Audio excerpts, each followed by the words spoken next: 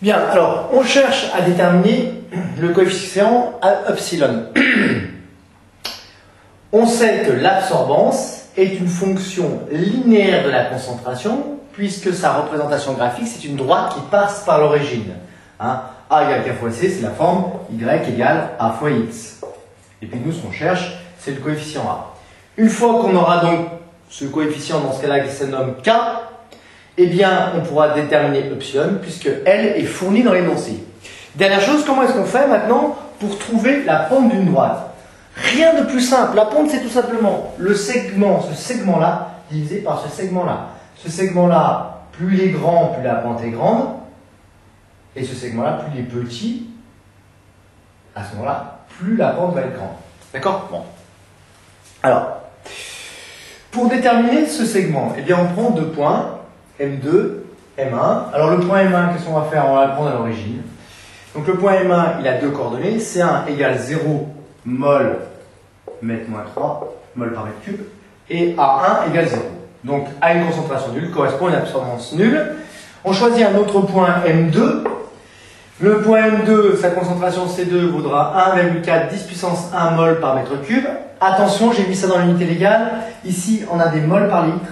Hein comment on transforme une mole par litre, hein, un, petit, rappel, un mol par, une mole par litre en mol par mètre cube, ben, ça fait une mole, puis un litre, c'est 1 décimètre cube, hein, ça fera une mole par décimètre cube si vous voulez, et 1 décimètre cube, c'est 10 moins 3 mètres cubes. C'est 1 millième de mètre cube. Donc, une mole par litre est égale à quoi? Eh bien, 10 puissance 3 mol par mètre cube.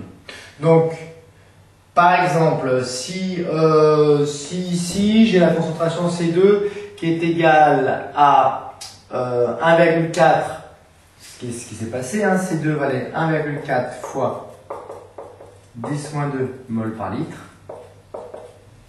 eh bien C2 est égal à quoi? Eh bien 1,4 fois 10 moins 2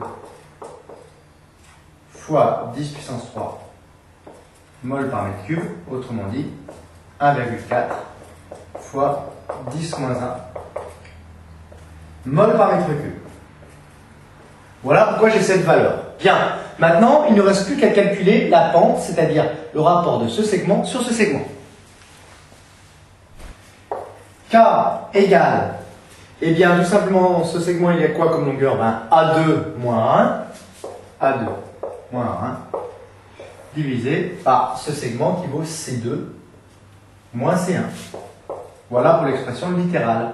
On remplace par les chiffres, donc ça nous fait 1,4 fois 10 puissance 1 divisé, enfin moins A1 qui est nul.